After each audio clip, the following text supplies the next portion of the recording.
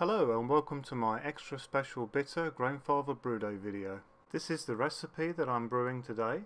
Uh, you will find the full recipe in the YouTube video's description.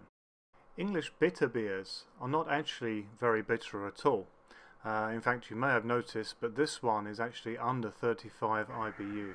An extra special bitter uh, basically just has a bit more alcohol than a standard bitter.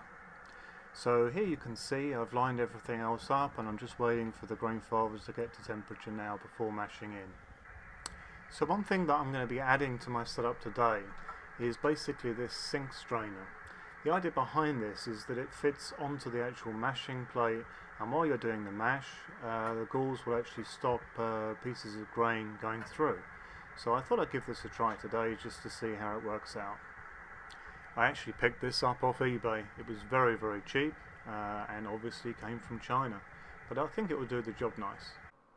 The other modification for today's brew is with the filter. As you can see, I have some uh, car repair aluminium um, in a sheet that I've wrapped around the entire thing to stop the end falling off.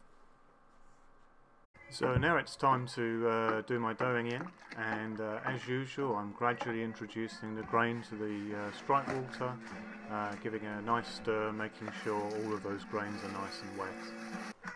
The mash plate's now on and the new toy is added. So we can see that this has actually helped quite a bit of the grain uh, from going uh, down the malt pipe and also this beer has got a lovely colour, look at that. So now we're a little bit further along in the mash and you can see the colours are really coming out. Uh, very nice easy mash steps on this one, just uh, one hour at 65 and then the usual mash out for 10 minutes at 75. So that's the mashing all done now and uh, it's time to move on to the sparge. So in my usual style I'll do a fairly slow uh, sparge, uh, making sure that there's an even flow throughout all of the grains. Uh, this is a great way to maximize efficiency. So here's a pic of the uh, sink strainer uh, that I've used today. Uh, as you can see it stopped quite a bit getting into the brew and I'm hoping this will uh, lead to a cleaner beer. So what I'm doing here with this one boil wise is I'm not putting uh, any hops in to start with and I'm doing an hour and a half boil with the first hops going in at 60 minutes. the reason for this is just to bring some extra flavours in. I really do love the smells that come from a beer like this, uh, very very nice. So the first hops are now in and I've decided to use my hop spider. Uh, one of the things that's very important with these is you need to give them a really good stir just to make sure that the hops do the job.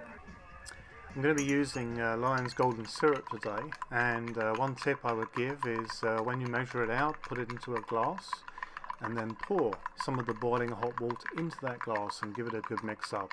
This will make sure that you get all of the syrup that you want into your brew.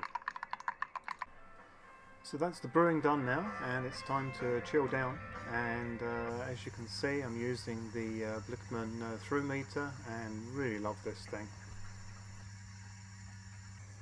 So after about 10 minutes I got down to the temperature that I want before I can pitch my yeast, so it's time to do that.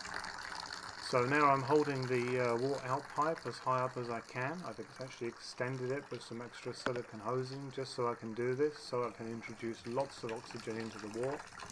Once I put half of the wort in, in goes the yeast, and then goes in the rest of the wort. So I had some questions from people regarding my fermentation and what I do is I use what we call in England the uh, plumber's putty um, what you see there is the Norwegian version of it. And I have a probe and I fix it to about the middle of the fermentation vessel. And I find this gives me the perfect temperature.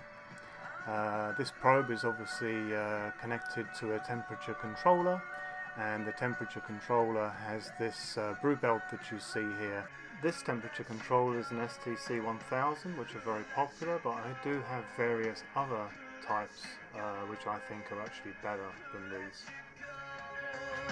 A quick note about cleaning now.